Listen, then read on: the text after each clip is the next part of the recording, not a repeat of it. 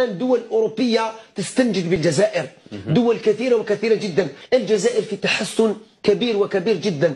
الآن من الناحية الاقتصادية الجزائر تفوقت على إسبانيا. أقولها بصوت مرتفع. تقولهاش بصوت مرتفع ولا تقولها خالص أنت الكلمة دي. من الناحية الاقتصادية الجزائر متفوقة على إسبانيا؟ ده ريال مدريد متفوق على الجزائر اقتصاديا. ريال مدريد متفوق على الجزائر اقتصاديا. نادي في في إسبانيا متفوق على الجزائر اقتصاديا. وتقول لي بقولها بصوت مرتفع؟ ما تقولش بصوت مرتفع أنت توطي صوتك. أنا بقولها بصوت مرتفع. الجزائر أحسن من إسبانيا اقتصاديا. وفي دول أوروبية بتحاول إنها تستنجد بالجزائر. مين بقى الدول الأوروبية دي أنا عايز أعرف. يعني أنا عايز أعرف مين الدول الأوروبية اللي حاليا بتستنجد بالجزائر. أنا تعبان. قول لي اسم دولتين من دول أوروبا اللي بيستنجدوا بالجزائر. وقول لي دليل على انه اقتصاد الجزائر أحسن من اقتصاد إسبانيا. بقول لك ريال مدريد اقتصاده أعلى من الجزائر. أنا هولع في نفسي بقى عشان أنا تعبت نفسيا. لا حول ولا قوة إلا بالله. كوكب لالا تعبان خالص يا جماعة. قولوا لي يا مغاربة إيه رأيكم في موضوع إنه الجزائر اقتصادها أحسن من إسبانيا ده. قلتش حاجة؟ أنا بقى قولوا أنتوا بقى عشان أنا تعبت من الكلام. يلا أنا مستني كلامكم أنتوا ها؟ لنا الله في كوكب لالا وسلام عليكم كل سنة وأنتم طيبين.